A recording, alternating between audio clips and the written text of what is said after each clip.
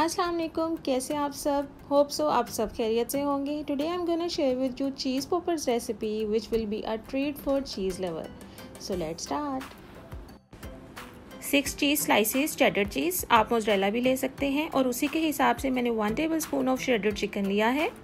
Boiled shredded chicken और छः से सात ऑलिव्स लिए हैं, जिसको मैंने बारीक बारीक काट लिया। Two pinches of salt and one fourth of black pepper मैं इसके अंदर डाल रही हूँ, जो कि मोर देन इनफ है इतनी क्वांटिटी के लिए। मैदा लिया है one and half teaspoon इसको मैं मिक्स कर लूँगी पानी के साथ और ये मैंने ड्राई मैदा लिया है। यहाँ पे ब्रेड क्रम्स हैं ब्रेड क्रम्स के अंदर अगेन मैं सॉल्ट डालूँगी थोड़ा सा और साथ ही साथ half teaspoon of chilli flakes आपने जब भी ये बनाने हैं, आपने ध्यान रखना कि पहले आपने चीज़ स्लाइसिस को निकाल के रख देना है फ्रिज से बाहर, ताकि वो नॉर्मल रूम टेम्परेचर पे हो जाए। अब ये देखिए, यहाँ पे मैंने ये इस तरह से बना लिया है। अभी इसके अंदर लम्स हैं, मैं इसको थोड़ा टाइम दूँगी। Again I am going to add little black pepper in it and salt थोड़ा थोड़ा सा डालना है, ज़्यादा नहीं डालना, और अब मैं इसको अच्छी तरह से मिक्स करूँगी। ये बिल्कुल पतला सा होना चाहिए। इसको पैकेट में से निकाल लिया है। ठीक है? अब मैं इसके अंदर ये फिलिंग डालूँ। ऐसे इसके मिड में मैं फिलिंग डाल रही हूँ। क्योंकि इसके अंदर ज़्यादा जाएगी ही नहीं, इस वजह से बस बहुत है। Like this turn from right and then left और अब मैं इसको यहाँ से टर्न करूँगी, यहाँ पे। ठीक? ये देखिए इजीली हो गया। ये देखिए, ये इस तरह से ये बन जाएगा। ठीक है? ये ऐसे बन जाएगा।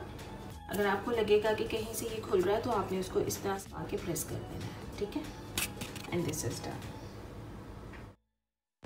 okay okay, यहाँ पे आप देख सकते हैं कि एक दो की शेप जो है वो गोल है। वो ऐसा क्यों है?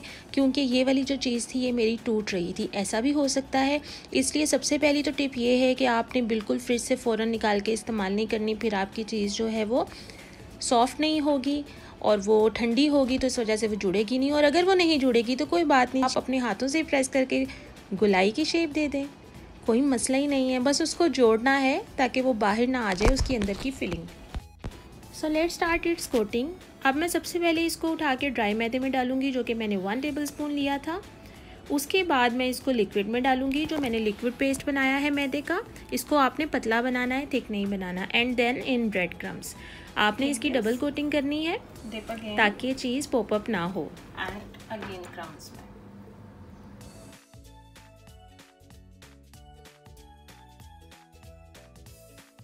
ये डबल कोटिंग के साथ ये रेडी हो गए हैं आप मैं इसको फ्रीज करूँगी जब तक मैंने इनको फ्राई करना है। ठीक है? डबल कोट करना क्योंकि चीज़ होती है वो पॉपअप कर देगी तो इस वजह से इसको डबल कोट ही आपने करना है।